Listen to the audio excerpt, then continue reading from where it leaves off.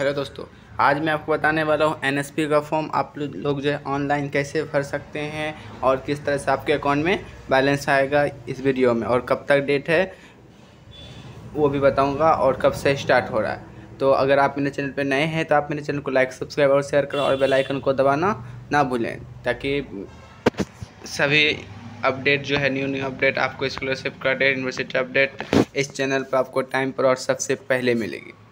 चलिए स्टार्ट करते हैं। तो सबसे पहले मैं आपको बताने वाला हूँ कि N S P N S P का जो फॉर्म है कौन कौन भर सकते हैं? तो एन एस पी का फॉर्म जो है, आप जो स्टूडेंट टेंथ में पढ़ रहे हैं, वो भी भर सकते हैं नाइन्थ में पढ़ रहे हैं, वो भी भर सकते हैं eleventh twelfth part one part two यानी किसी भी कोर्स कोई भी कोर्स कर रहे हैं। तो वो सारे जो है एन एस पी का फॉर्म भर सकते हैं। तो NSP जो है नेशनल स्कॉलरशिप पोर्टल हुआ। तो इसको जो है आप किसे फिल करेंगे।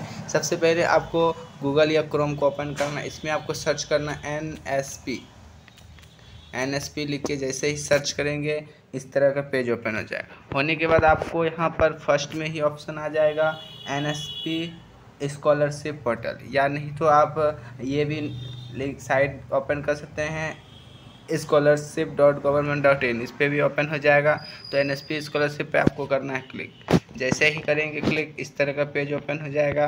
उसके बाद आप अगर पहले से फॉर्म भरे हुए हैं तो यहाँ पर आप देख सकते हैं लॉगिन का एक ऑप्शन है और एक न्यू रजिस्ट्रेशन यानी इस बार भरना चाहते हैं तो यहाँ न्यू रजिस्ट्रेशन पे क्लिक करना है। अगर आप पहले से हैं रेनवल करवाना चाहते हैं तो यहाँ पर लॉगिन पे क्लिक करना है। तो मैं न्यू रजिस्ट्रेशन के लिए बता रहा हूँ तो न्यू रजिस्ट्रेशन पे क्लिक करना है।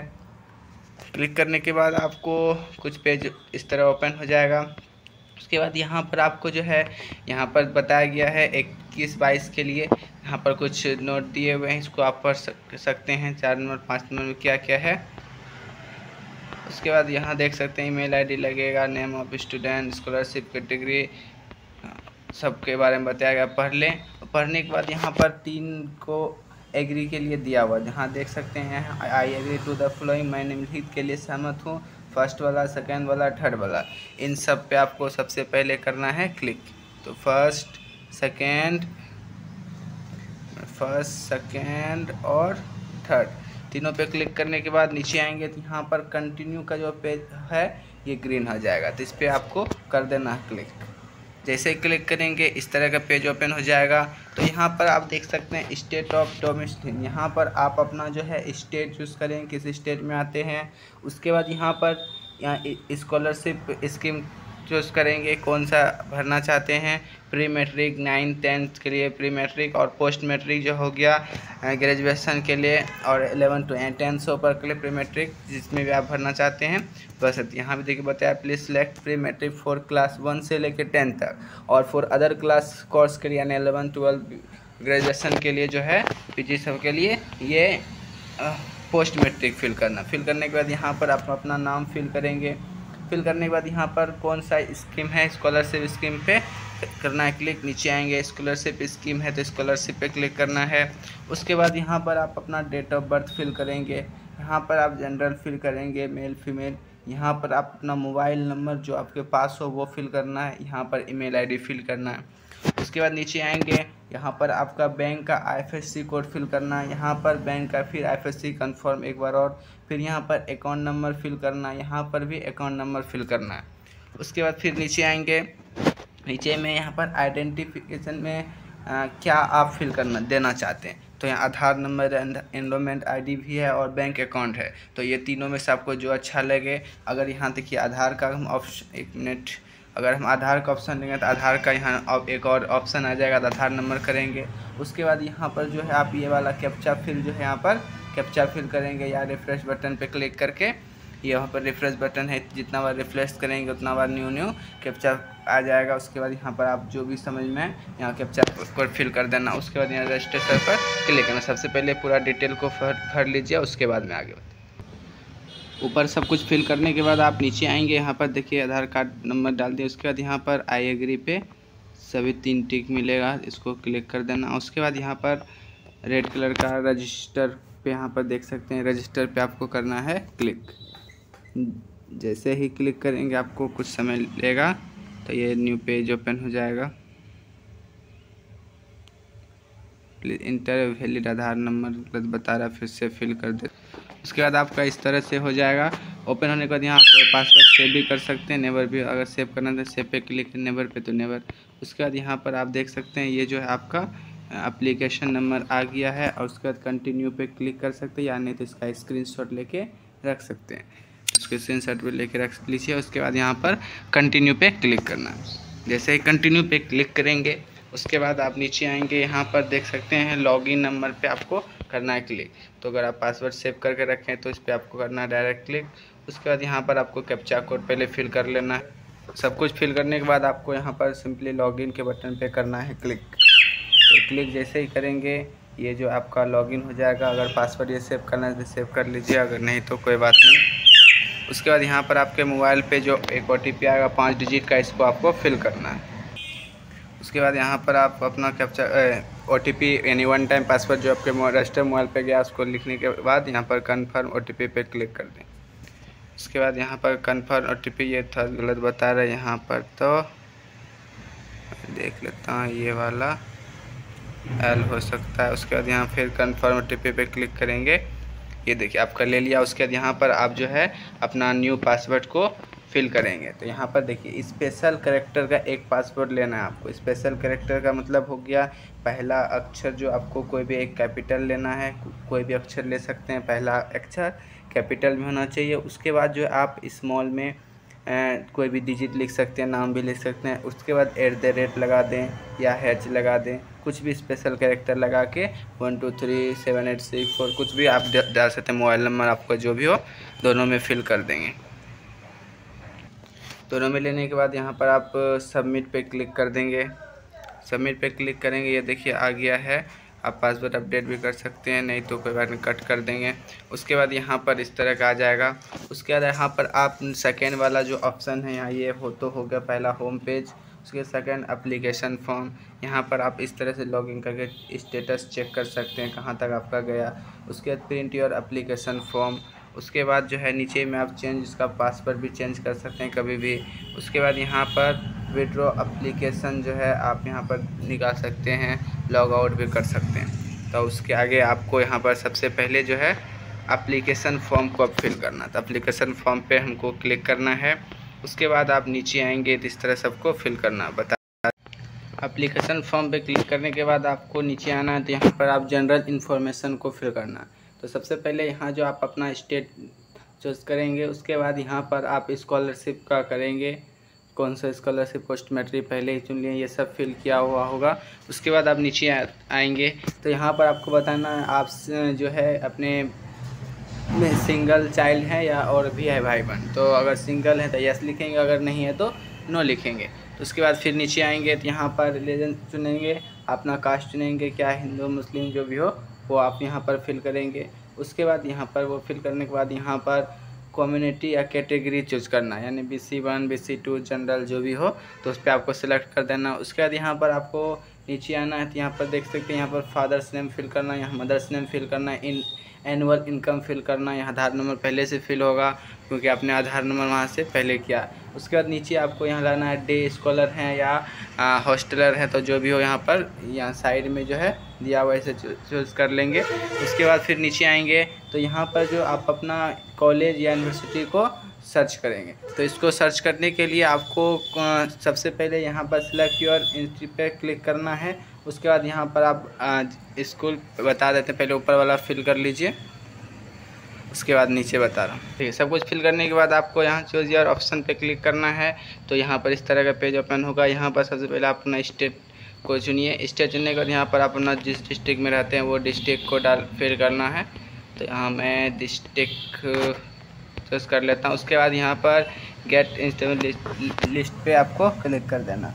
जैसे ही क्लिक करेंगे, नीचे आएँगे तो यहाँ पर पूरा जो स्कूल आप अपना जो यूनिवर्सिटी है, वो पूरा लिस्ट आ जाएगा। आप देख सकते हैं, एक, दो, तीन जहाँ भी हो, एक सौ पैंसठ इंटीज है। तो आप जहाँ पर हो, आप देख के आप अपना चूज़ कर लिए, जो भी यूनिवर्सिटी है या विद्यालय है, आप जो भी डालना चाहते हैं, उससे कर सकते हैं। उसके बाद जो है, पहले देख लेते हैं कौन सा है।